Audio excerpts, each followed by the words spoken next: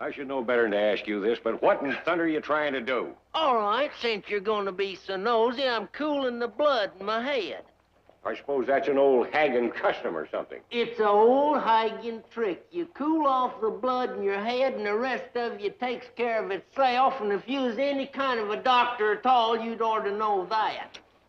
Well, I can certainly understand where there might be certain therapeutic benefits in you soaking your head. If you'll recall, I recommended you do that on a number of occasions.